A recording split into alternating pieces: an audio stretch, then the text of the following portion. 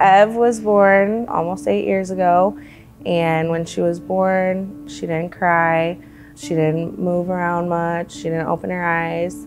I kind of knew something was wrong just being her mom. So I was asking the nurse, like, I think something's wrong. She's not crying, she's not acting like a normal newborn, she wasn't eating. They told me she was shell shocked from the delivery and to let her sleep. The pediatrician came in in the morning and looked at her, opened her eyes with her fingers, and noticed she was having seizures. She has HIE and she has cerebral palsy, she has epilepsy, um, she has a feeding tube. She needs 24 7 care. She has a wheelchair. The nurses and doctor just left her for the night with me in the room, no, like knowing she wasn't acting like a normal newborn. I knew other people who had hard labors and their baby wasn't severely disabled like mine. So I think at that point I knew there was a case and I wanted to talk to a lawyer.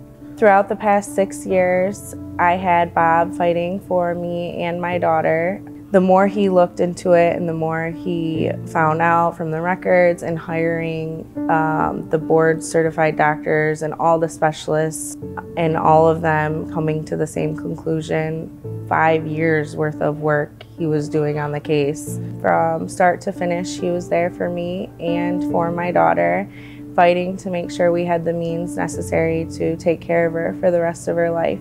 The best thing about uh, Shelby's daughter's case was Shelby. Uh, obviously, she's a very strong and independent person, um, courageous to uh, feel that something went wrong, to know kind of, I guess, inside of her that um, it wasn't right. If we couldn't get the case settled, we were going to try the case because we, we were, and, and that's what we promised her. Ultimately, shortly before trial, after we had defeated all of these challenges, um, the defendants finally came up with uh, a significant amount of money so that it would be easier uh, for um, Shelby's daughter uh, and for Shelby to continue on um, with their lives with some sort of monetary assistance to make that easier because of the significant damages, the, the, significant injuries that were caused by what we always believed was medical negligence.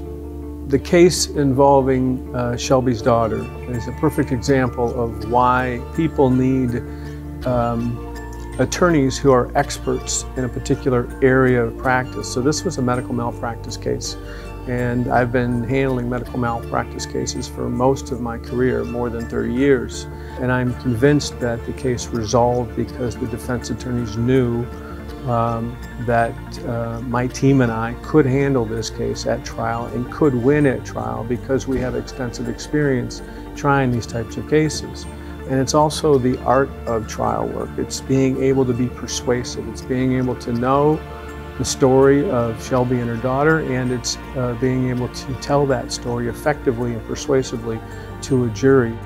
I'm happy and I'm thankful I had Bob.